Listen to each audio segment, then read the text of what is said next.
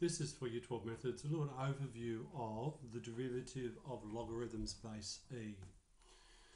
So a general rule for taking the derivative of a logarithm that if y equals log base e of x, then y dash equals 1 on x. So if y equals log base e of some function, so the derivative will be 1 on whatever that function is, but then times the derivative of that function. So, question 2 out of 9h. If y equals the log of all of this, then y dash is going to equal 1 over all of that. And the derivative of the inside is 2x plus 1. And there we have it. So y dash of this is going to be x cubed plus x squared. On top I've got 3x squared plus 2x. I could simplify that because I've got some x's that I can take out.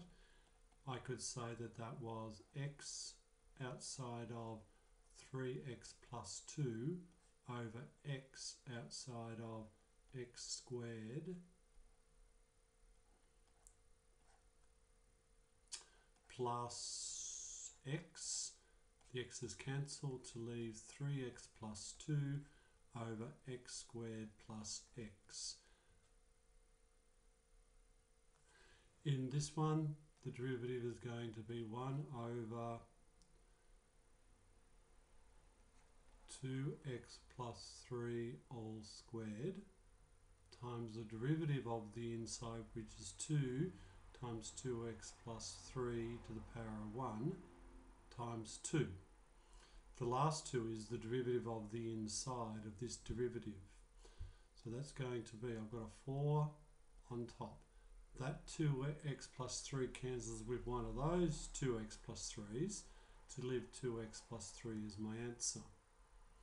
In the last one, if question number 2, the derivative will be 1 over 3 minus 2x to the power of 2 times the derivative of this, which is 2, 3 minus 2x to the power of 1 times minus 2.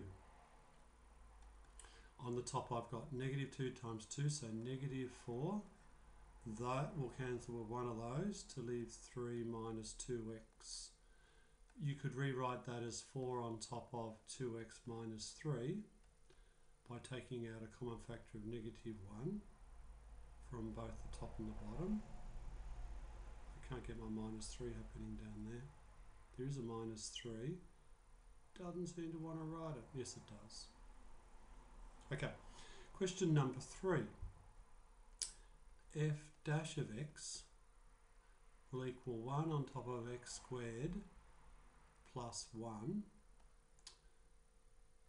tablet's not working very nicely down there, plus 1.